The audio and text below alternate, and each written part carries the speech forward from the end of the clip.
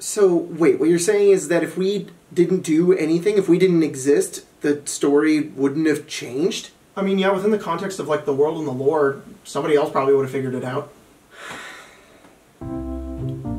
He said that to me? Yep. yeah, I'd punch him in the face. Okay, roll attack. Five. Yeah, so you miss and don't punch him. Whoa, you're pretty quick. Yeah, um, anyways, so the people that you guys are looking for are. Yeah, we're gonna start at level three. Oh, cool.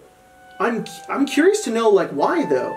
Is it that like we're a cut above the you know average person because of like our backstories, or do you want us to start out being a little powerful, or is it because uh, you, you want us to have our subclass or something? Honestly, level one just sucks. It just is not fun. Yeah, that's valid.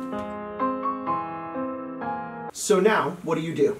Can you remind us what we're supposed to be doing? Did you just shrug? Your characters don't know.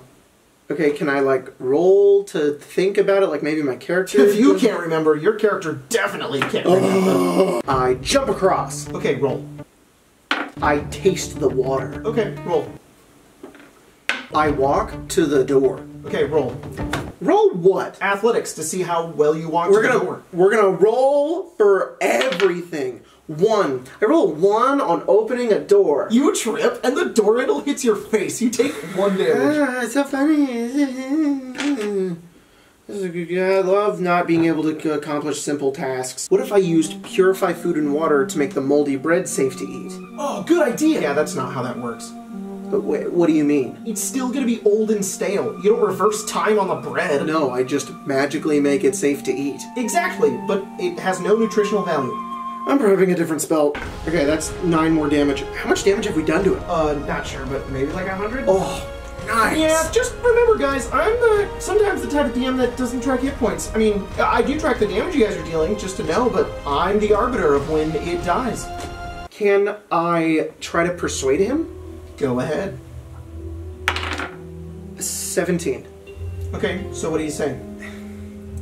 Well, I, I think I'm trying to. sh- I wanted to see that uh, our our plan is better for the long term than his, you know, short term payment of you know siding with the goblins. So that's it? I mean, he doesn't agree. So I failed my check. No, you rolled pretty good. That argument just isn't convincing. Cool. Well, if that's how we're running the game, uh, I hit him with my sword this hard. I poke it. You poke it and take two damage. Why? Everybody else poke it. Do it. Just just poke the thing. Just it's two damage. It's not even a it's a big thing. It'll be really funny if we if we all poke this dumb thing. okay, fine, I poke it. Yes, You know, why not? Yeah, I poke it too. Okay, you also take two damage. I don't poke it. Come on, just poke it. I'm not doing that. Okay. Hey, so we're um we're like playing Cyberpunk, right? Yeah, well, we're actually going to be playing the Cyberpunk 5e conversion.